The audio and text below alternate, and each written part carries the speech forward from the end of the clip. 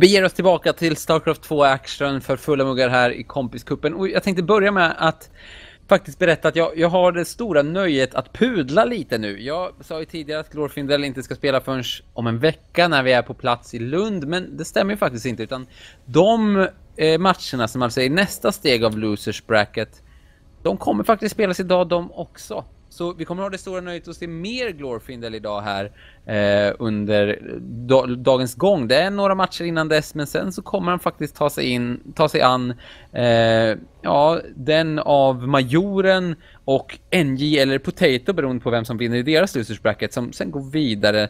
Nej förlåt, nu säger jag ljuga igen. Losers of match 24 Nej, av den av Your Majesty och Fear som går ner till loser bracket kommer möta Glorfindel idag senare. Ja, det är kärvt det där med losers och winner brackets, men det stora nöjet som vi har i alla fall tack vare det här är ju att vi har väldigt många bra Starcraft 2-matcher att njuta av och det blir ju lite mer spänning där nere i losers bracket inte minst. Mm, och det är matcherna som är det viktiga. Och eh, då är det perfekt att vara så många matcher Det kommer bli kul. Och eh, framförallt kommer det bli kul att se Glorfindel eh, ytterligare en gång idag för han spelade väldigt väl mot Colon. Det ska bli kul att se hur han ställer sig mot uh, uh, Your Majesty eller Fair. Det kommer bli en TVC eller en TVT igen för Gloffinell i så fall. Och han är väldigt stark i båda matchups. Så det ska bli väldigt kul att se. Mm, ja men absolut alltså. Okay. Eh, och det är kul att se många av de spelare som tidigare har spelat på lite lägre nivå ofta nu befinner sig ungefär runt eh, eh, vad heter det, Diamond har ju arbetat sig upp väldigt, väldigt bra. Inte minst under den här turneringens gång. Alltså vi ser att de tar sig an spelare som tidigare har varit ganska så långt utanför deras nivå men nu helt plötsligt är på samma liksom. Så jag tror mycket förberedelse och kanske framförallt kompisskolan som eh, tar sig an SAI Sports League varje vecka som har fått den här, gett den här boosten helt enkelt. Ja, vi snackade om det tidigare i pausen eh, off stream och eh, jag tror att du sätter slått huvudet på spiken med att det är kompisskolan. Alltså den, det laget där de får träna och spela tillsammans som har gjort att de har fått en ökning i deras nivå, spelnivå. Och det är kul att se. För att eh, de sitter efter matcherna, de får matcherfarenhet när det verkligen gäller i ligorna och samtidigt sitter de efter och diskuterar vad som gick snett och vad de kan göra bättre. Och man ser ju att alla spelarna har utvecklats något otroligt. Och det är bara att tänka på exempelvis matchen Legobiten mot Sammet. Legobiten var väldigt, väldigt nära att ta den 2-1. Men eh, Sammet var ju starkare till slut med sin Marine Bio. Men, ja, men sin jag, jag trodde... comeback ska ja, sägas. Alltså, det var ju på håret verkligen. Men jag tror inte att... Eh, jag har verkligen inte alls föreställt mig att Legobiten skulle kunna spela så bra mot en sån stabil spelare som Sammet. Och det jag tror att det är mycket kompisskolans förtjänst att hela... Att kompis har blivit så mycket bättre, även de i Diamond. Och att de är uppe nu och eh, kan ta några vinster från de som annars skulle säga är lite bättre. Så det är väldigt kul att det är så himla jämnt i år. Att eh, även en Diamond-spelare kan vinna. Mm. Ja men absolut och det visar också att förberedelse och träning ger resultat i Starcraft 2. Så det är superkul att se och efter så är det nu de kommande kartorna två Diamond-spelare som vi ska se mötas mot varandra. Två av de här eh, spelarna som verkligen har presterat gott hittills och kanske över förväntan eh, ställs nu mot varandra uppe i winner bracket som vi befinner oss just nu då. Eh, det är två spelare som alltså än så länge inte förlorat någonting utan bara tagit segrar under sitt bälte. Men nu ställs de mot varandra. Och den ena av dem som befinner sig nere i det högra hörnet, han är en blå terran och hans namn är Fear! I bara versaler. I bara versaler. Och han möter då, inte från England, men från Sverige, Your Majesty. Jag tänker där på eh, drottningen liksom. Vilken ras tror du att hon är? Den brittiska drottningen? Den brittiska drottningen? Mm. Ja, det skulle väl vara Selnaga då då. Selnaga? Ta över allting och skapa Är de tedrickare? Alltings urmoder liksom. Ja, ja, ja. tedrickare absolut.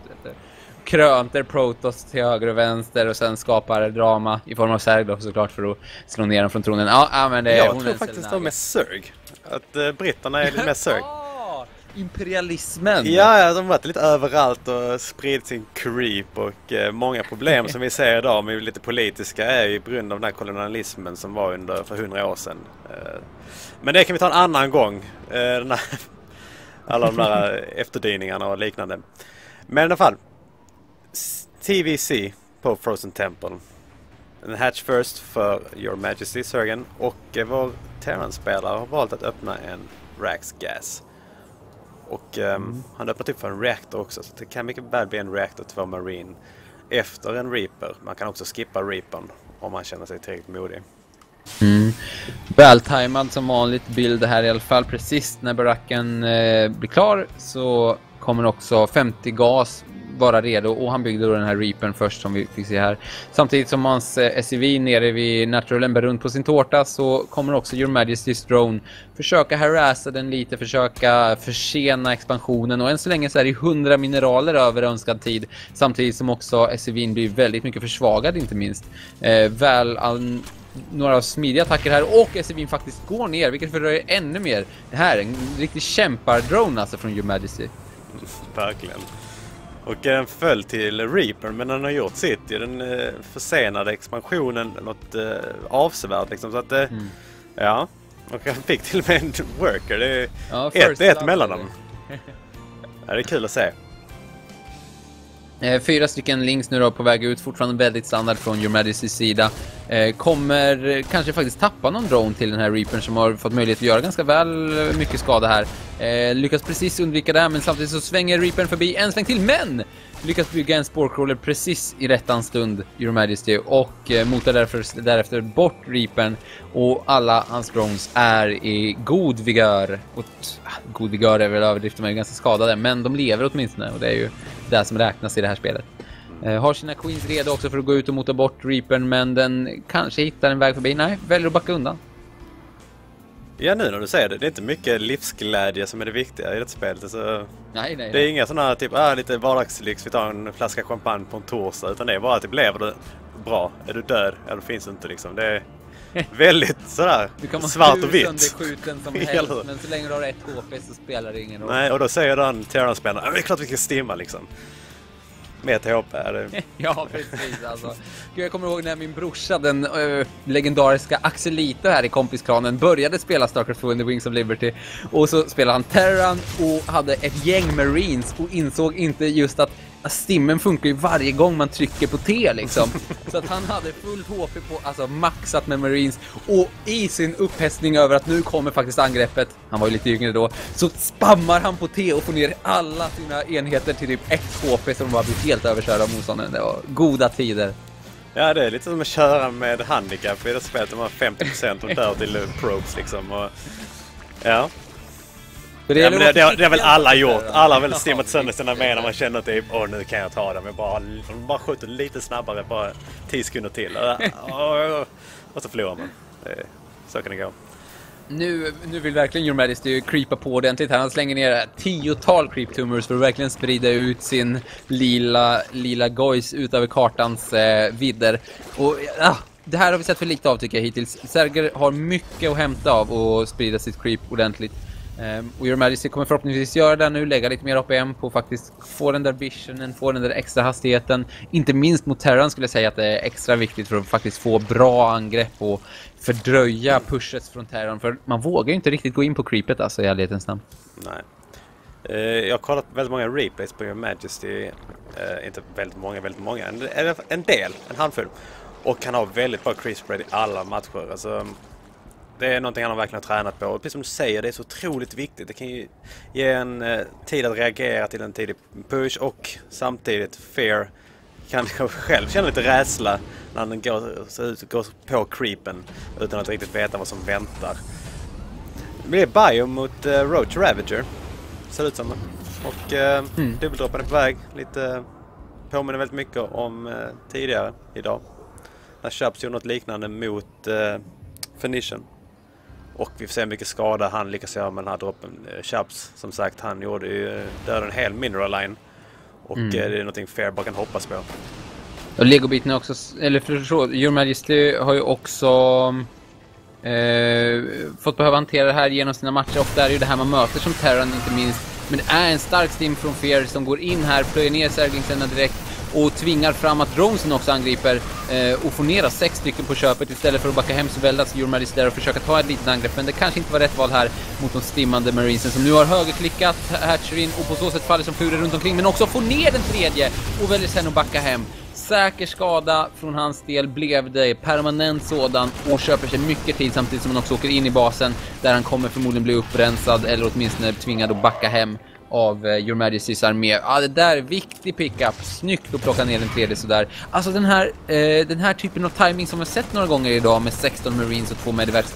Väldigt, väldigt stark med Steamen. Verkligen, och jag tror att den är gjord för att kontra i sådana metran med väldigt mycket roaches. För att Bailings hade stängt ner. Hade de haft två, tre Bailings och Queens och Links så hade det ju varit mm. nedstängt. Men roaches är inte snabba, de springer inte mellan baserna så bra. Och de gör inte så mycket skada. Men samtidigt, apropå skadan, har en dubbeldropp i Majestys eh, expansion också. Här faller ytterligare workers.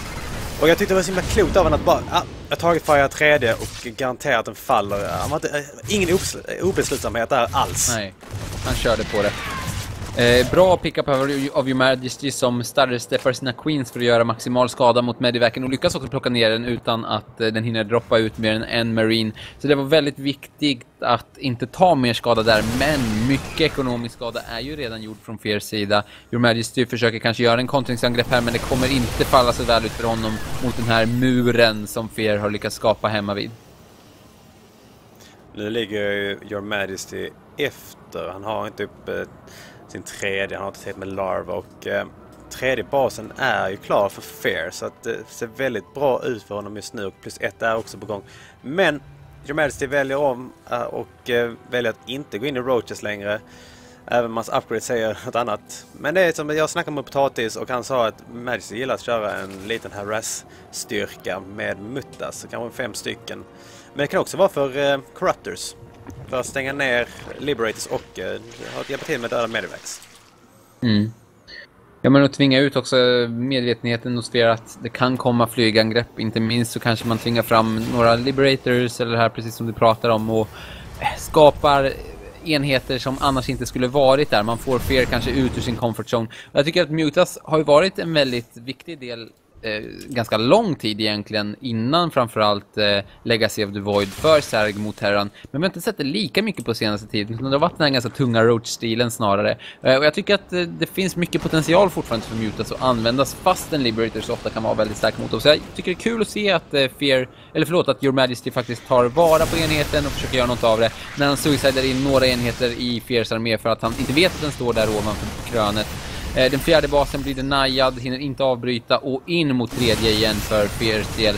När han stimmar sina Marine Marauders mot den här Roach-armén med Lings som fylls på.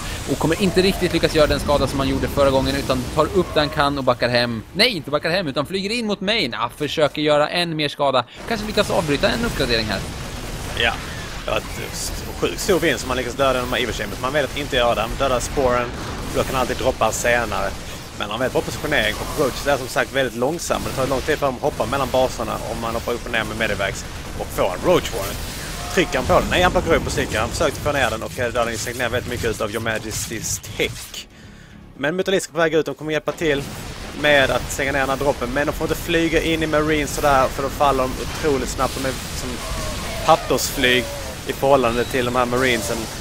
Och eh, när Rochester kommer så lyckas han rensa upp det, men han förlorade väldigt många muttas ja. med tanke på vad han kunde gjort. Tre muttas, det är otroligt dyrt med tanke på att han ligger efter i workers och ekonomi. 300-300 alltså, det är inte vad han behövde just här. Han skulle varit lite mer varsam med mutasarna helt enkelt, men ville få ner under medivacen för fort. Eh, hur som helst så lyckas han i alla fall städa upp och lyckas fortsätta med sin eminenta street creep spread, förlåt. Eh, faktiskt den bästa vi har sett under turneringens gång skulle jag säga. Han jobbar väldigt hårt med det. Och rörde sig över här med sina links och roaches för att faktiskt bara stöta på en vägg av bio som inte funkar där utan måste backa hem och försöka regroupa. Alltså Banelings är någonting vi skulle behöva här eh, för att kunna verkligen rensa upp den här bion som är ganska tung på Marines just nu. Men de finns inte. Nej, han har väldigt mycket healing också. Väldigt många medverks. Han kommer snipa tredje, sen kommer han rasa ner mot fjärde. Och, kan, och det movekvarnar stor del av armén gör, gör medicine som många roaches faller och det är roaches som behöver för att överleva här för att mutaliskerna kommer inte kunna hjälpa till eh, om man inte har stöd på marken i form av roaches. Mutaliskerna var tvungna att lämna eh, Fairs bas och eh, måste hjälpa till hemma och GG. Ja, alltså Fear plockar ju isär Your Majesty här under, i den första kartan. Eh, harassar extremt bra med sin, både den första drop-timingen som vi såg med eh, de här 16 marinesen med stim, men sen också vidare så plockar han upp, flyger in i main, gör skada där, och rör sig runt, plockar hela tiden också bitvis av armén från Your Majesty eh, för att slutligen då helt enkelt köra över honom med det här sista angreppet. Det fanns inte enheter nog, ekonomin var för skadad. Ehm, så det är helt enkelt väl spelat här under den första kartan. Han var dominant rakt igenom faktiskt. Och um, Your Majesty försökte hela tiden bara komma ikapp snarare än försöka ta initiativ själv. Ja, och eh, precis. Men jag tror också att det är väldigt mycket att göra med den här Stim-droppen som vi sett så många gånger idag och även på DreamHack eh, nio gånger i rad från Marine Lord. Den är så otroligt stark och han snipade 3D och det är, ja, 3D är otroligt viktigt för Zerg. Det är som eh, en exp första expansionen från Terran och Protoss. Eh, de måste få upp 3D. Ja. Jag vill gärna se Ling Bling. Jag vill se hur Ling Bling står sig mot den här droppen. För att eh, Roaches verkar inte vara eh, lösningen. Ja, verkligen inte. Och vi får se om New Gettysburg är kartan som vi får se den kontringen på. Som vi ger oss in i nu. Jag tror verkligen på den med. Jag i magen känns det som att Roaches inte är så himla bra mot Marauders och Marines. Men det har ju funkat, inte minst på grund av mängden. Men det kanske är nu som Terrans verkligen har börjat fundera ut hur man kan kontra på bästa sätt. Och det kanske är dags för Serg att göra det Serg ska göra. Anpassa sig för att hantera det. Vi får se helt enkelt när den röda Sergen Your Majesty spånar ner i det högra hörnet. Och hans motståndare som visar upp en väldigt stark eh, TVC på förkartan spanar ner till vänster. Det är kompis Fear. Mm. Han har nu matchboll alltså här, kommer kunna överleva fortsatt uppe i winners bracket, ta sig vidare in i eh, vad som faktiskt blir semifinalen sen då, eh, om han lyckas vinna just den här kartan. Det är ju en bästa tre även här, um, så det är avgörande här och Your Majesty måste verkligen eh, steppa upp sitt game för att komma ikapp Fear här efter första kartan. Eh, det var ju väldigt, väldigt solidt och, och eh, återigen så är Your Majesty också väldigt... Han vill känna sig trygg i sitt spelande och scoutar ordentligt för att se så att det inte finns någon proxy uppe vid sin tredje. Mm, det är klokt. Men eh, precis som jag sa tidigare när vi spelade på den här kartan tidigare idag, det var ju att man har inte sett alla proxy locations ännu på denna. Så det, man måste scouta överallt. Det kunde lätt varit en uh, six i någon till Ostyle mm. vem vet. Men Joe Madsey vet i alla fall att det inte är så. Så det är ju alltid skönt. Något jag tänkte på som du också nämnde tidigare, det var ju det att båda de här spelarna har gått eh, obesegrade tidigare fram till den här matchen då Majesty förlorade sin första karta under den här turneringen. Men Fair ligger ju fortfarande bara på vinster. Och Fair är ju som sagt Terran och som vi också ser att han är och känner du igen någon Terran som gick igenom en turnering? Eller minns du någon Terran som gick igenom en turnering utan att förlora en endaste karta? Nej, vem då? Tasia. Tänker du på? Dreamac. Ah. Han gick igenom utan att förlora en enda karta. Jag tror han gick 20-0. Eller sådär, 21-0. Alltså det är ju också helt absurt alltså. Kan Fair bli den första Tasia i kompisklanens... I och för sig, vi hade vet du Myxomatosis i kompiscup 1. Som gick eh, obesegrad genom hela, om jag inte minns fel. Um, men så det är Tasia som egentligen härmar här menar du? Ja, jag menar typ att Fair kanske blir Tasia nummer två. Men jag tänker typ att uh, Myxomatosis gick väldigt bra. Han förlorade nog en karta i finalen eh, om jag minns rätt. Men nivån på spelarna är också mycket, mycket högre här i denna uh, Compis Cup uh, mm. installation nummer, vad blir det, fyra? Tre blir det nog. Så att, ja, det är en större bedrift om Fair lyckas gå obesegrad genom hela turneringen. Det kommer bli svårt. Imponerande. Eh, hittills alltså 2-0 till sina motståndare fram hit. på vägen så var det Coldon först ut och sen Pizza Pie Bob då i Round of 2. Och där var det en VO va? Som lämnades in också, som då blev en 2-0-seger. Mm. Eh, hur som helst så har han alltså statistiken hittills på sin sida nu i den här kartan. Eh, än så länge har han rört ut med sin Reaper, det är väldigt standard så där har sin expansion klar om bara några sekunder, en Factory på gång. Eh, och andra refinerin också på G ut. Och han sätter den där bunken längst fram för att känna sig lite tryggare. Jag tycker det är väldigt klokt. Han har inte sett någon 3D från Sörgen ännu och eh, han har ju ledningen. Eh, för han tog karta 1 så att då vill man spela säkert. Men nu ser han att eh, Sörgen rör sig utåt mot den tredje. Han ser dronen också där. Och eh, generellt så brukar man inte backa med den dronen om man inte möter Protoss exempelvis och ska göra någon riktigt, riktigt cheesy timing. Men Mm. Så att han kan nog känna sig rätt säker på att det är en tredje bas där och då vet han att det kommer något super, super duper tidigt i alla fall. Mm. Eh, fyra stycken Queens ute för Your Majesty. Återigen ser vi den här Queen-tunga setupen som man har. Jag gillar verkligen det. Man kan förlita sig på Queen i försvaret mångt och mycket. Alltså det handlar om att plocka upp Medivacs, det handlar om ehm, men om de försöker åka förbi med helions på något sätt, det ser man inte så ofta längre, men det kan hända ändå. Eh, och inte minst för att mota bort Reapers och sånt där. Så jag gillar den Queen-tunga delen i Your Majesty spelande och inte minst av det här eh, creepspreaden som man eh, arbetar otroligt, otroligt hårt med. Det är kul att se, verkligen. Ja, precis som du säger, den är, den är sjukt bra mot alla de här tidiga pushes som man såg tidigt i eh, början av Legacy of the Void. Det var väldigt mycket Marine Tank eh, Medvac pushes och sen gick det in mer mot Hellbat eh, timings och liknande. Och Queens är svaret. De, precis som du säger, de dödar Medivacsen och när Medivacsen dör så generellt pushen också över.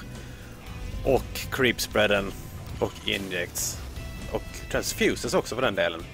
De är, det är nog den bästa uniten att ha i stor skala när det är riktiga all-ins som gäller. Mm. Där varje unit är otroligt viktig. Nej, Queen är en väldigt bra spelcaster. Jag gillar att de har med den i spelet. Den är väldigt väl designad tycker jag. Jag kommer ihåg i början när eh, Starcraft 2 annonsades så hade Queen en lite annorlunda setup eh, under de första betabilderna som man fick se. För då kunde den levla upp om jag inte minns helt fel. Alltså så att den hade, man hade en Queen och sen så kunde den uppgraderas längs med vägen.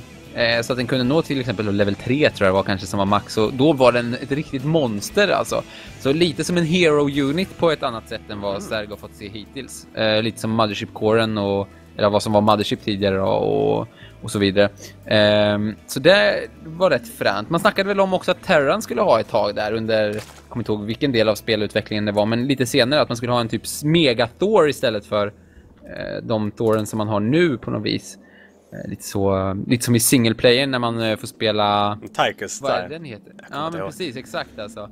Eh, det är ju någon, någon typ av asatrogud som Loke är det kanske som den heter. Mm. Ja, strunt samma. Här kommer i alla fall en dropp in och det är Queens redo, Roaches redo och det här kommer mot tillbaka kvickt. Ena verkligen faller direkt, den andra flyr med svansen mellan benen full av Marines. Snyggt försvarat av Your Majesty. Eh, som inte behövde någon sån Hero Queen för att försvara det där utan skötte det galant för de vanliga de vi har att eh, använda oss av och motar ännu en gång bort de marinesen som droppas nedanför. Väl spelat av Your Majesty. Snyggt. Verkligen, och det var samma Steam-timing som man eh, Fair gjorde tidigare. Och att han valde den här gången Your Majesty att inte dra upp sin 3D lika mycket och därmed få ut mer roaches som han kommer använda nu i en push. Ser det ut som. Och eh, vi kontrar ju den här droppen totalt från Fair.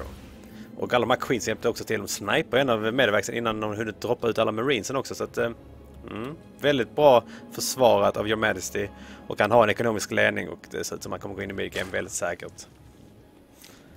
Och angriper här med en stor del av sin armé. Många Lings springer söderöver, många Roaches norröver. Men samtidigt så ska vi ha klart för oss att det är ändå ett gäng Marines fortfarande levandes ute på kartan för Fear. Och det är öppet!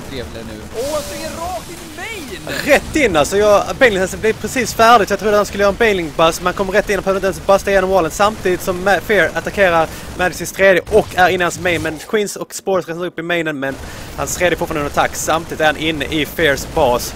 Och eh, det kommer bli väldigt svårt att hålla detta Fear med tanke på att han inte kan walla in sig och det är väldigt många links som fortfarande lever och de står på produktionen.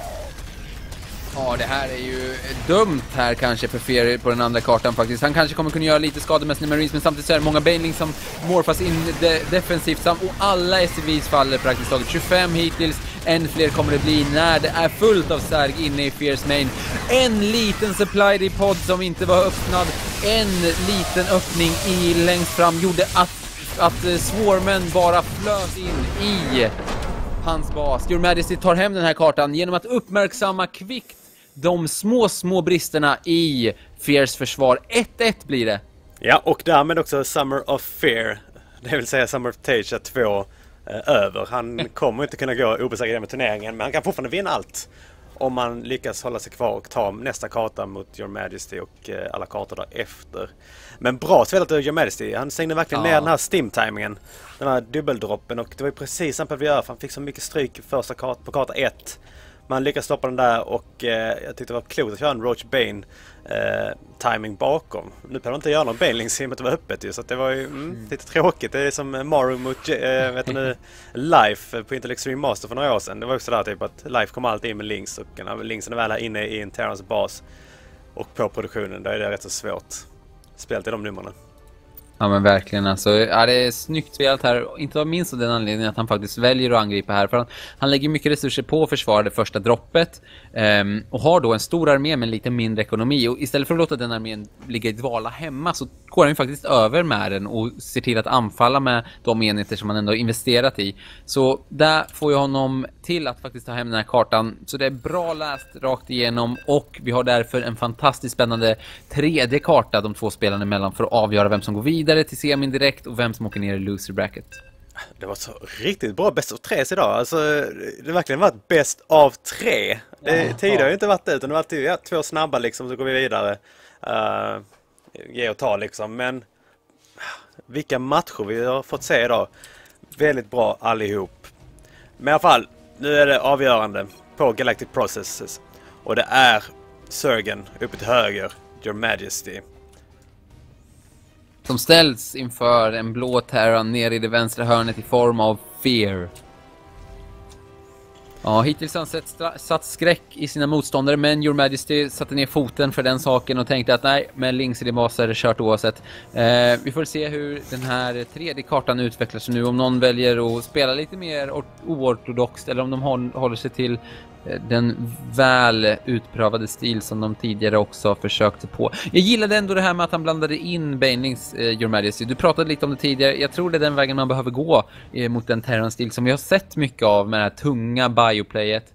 Eh, för det är verkligen det som kan avgöra. Inte minst såg vi det i hans försvar här vid den tredje basen, eller snarare vid hans natural efter att den tredje fallit.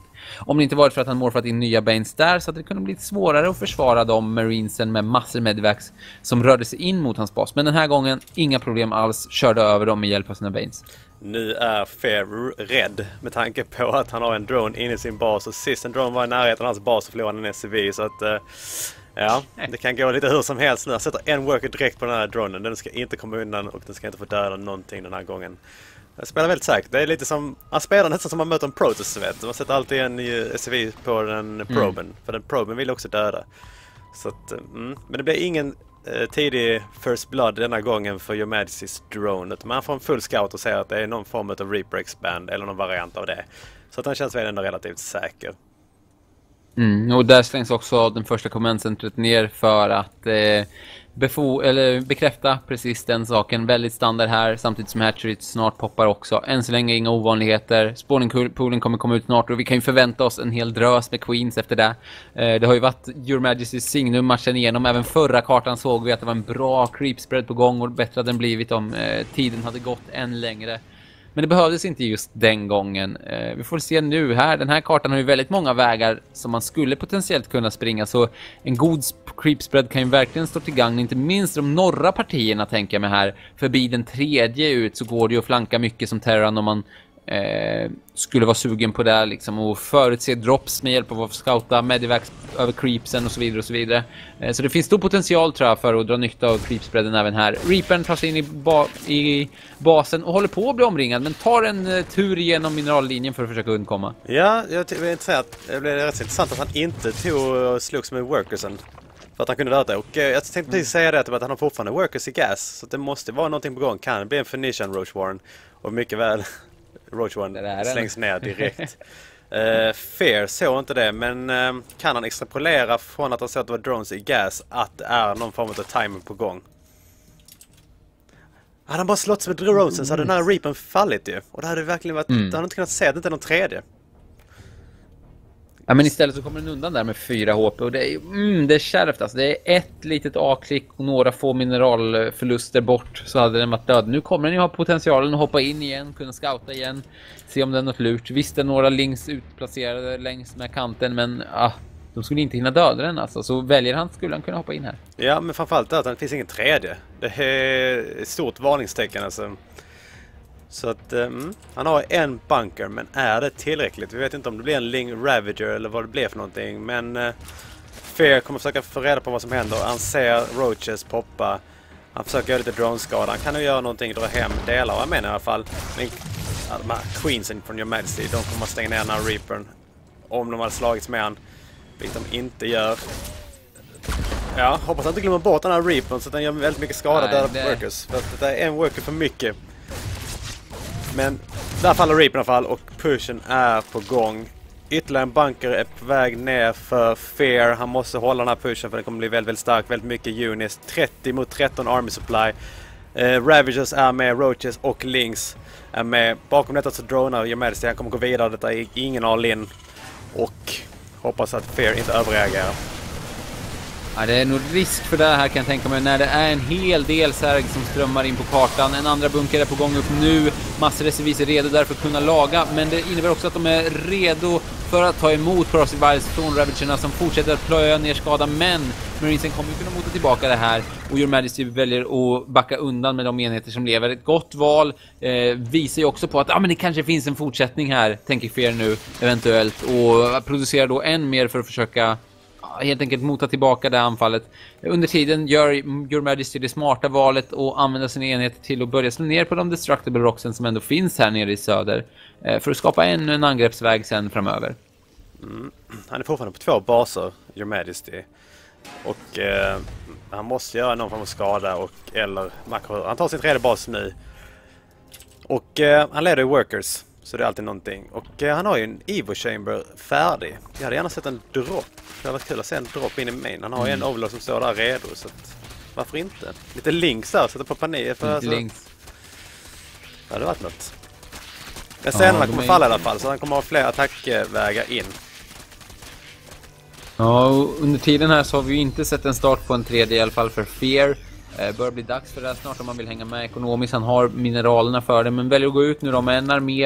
Eh, bakom det här droppar med två stycken medivax på gång. Eh, kommer försöka ta och göra lite skada, men den här kanske lyckas stänga ner den tredje faktiskt. Finns inte så mycket enheter i närheten där för att försvara och där vore ju problematiskt för Your Majesty att hamna efter på det sättet ekonomiskt samtidigt som eh, Fears egen command center så smart är med. Droppar ner allting innan han börjar angripa, förutom en Moroder som såklart är lite för ivrig och står för nära, vilket förvarnar Your Majesty innan Fear hinner agera fullt ut. Men jag tror inte det kommer köpa honom nog med tid. Nej, avbryt en tredje bas, drone död. Det här var viktig, viktig dropp för Fear. Verkligen. Och eh, han har ju fortfarande, allting lever ju så han kan alltid plocka upp och eh, dra hem. Han har gjort tillräckligt med skada. Men han vill testa eh, och se vad som kan hända liksom. Men han ser att det är väldigt mycket där så han kommer ju välja att backa. Det ser väldigt bra ut för Fear nu. Han höll pushen och kan döda en tredje.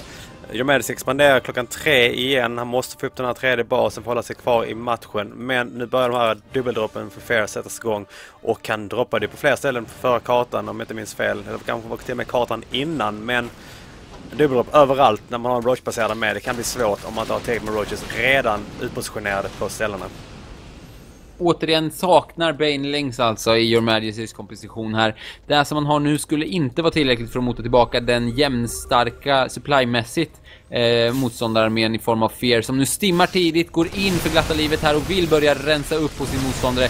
Tre stycken Ravagers ska försöka sätta stopp på det tillsammans med Sörglingsarna som dör för glatta livet här. Men nu är armén inne, hittar en bra position här inne i mineralerna, kommer kunna göra mycket skada.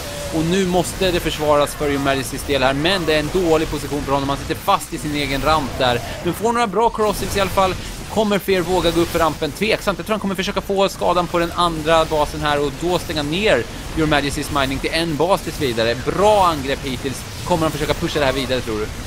Ja, helt klart. Han har en liten run by sin uh, natural men den rensar han upp med sina reinforcement och uh, nu är det bara Queens och en Ravager som egentligen är problemet. Uh, Roaches poppar så att det kanske, kanske. Men han har ju fortfarande väldigt mycket bio och han har ju MediVaxen. Men han kommer kunna plocka upp den här och döda tredje om man bosar ner åt söder. Ja. Det ser väldigt, väldigt mörkt ut för Your Majesty och för att Fear är ju helt ostraffad hemma ju. Och han som är ja. börjar bli stor. Alltså, hans eh, tre, han har ju tre baser nu ändå klara här, Your Majesty, men han har ju inte riktigt dronesen för det. Den som är till höger, alltså i öster, östlig riktning av hans baser, är ju faktiskt inte uppmärksammad än av Fear, som just har fått ner sin tredje. Så om nu eh, Your Majesty, som man gör, går in med links mot den tredje här, försöker stänga ner miningen där, Alltså, kanske han kan köpa sig lite tid åtminstone och försöka komma ikapp ekonomiskt, men det blir svårt hädanefter. Alltså, han behöver mer kostnadseffektiva trades, han har inte enheterna för det. Däremot en hydraulisk den på väg. Är det lurkers som man på, hoppas på ska kunna låsa upp mer tid åt honom och placeras ut över kartan för att mota bort den här Marine och Marauder-armén? Ja, det, är nog det enda alternativet. Eh, för han har ju inte tillräckligt med roaches för att täcka sin hydrasen ju. Och eh, Lurkers kan han placera ut lite överallt, tvinga ut scans och tvinga Fair att inte ta strider eh, utan att kolla på sina med. Han måste eh, vara väldigt fokuserad på vad som händer runt om sina units för att de dör ju otroligt snabbt mot Lurkers. Men nu kommer i alla fall en eh, väldigt stor drop. Han har väldigt många medivacs. Han har nio medivacs så det är kanske snäppet för många med tanke på hur mycket units han har under dem. Men han kommer döda den här tredje basen. Det finns fortfarande en tredje bas i Medicine klockan tre men den stora armé som knackar på dörren och eh, är det tillräckligt?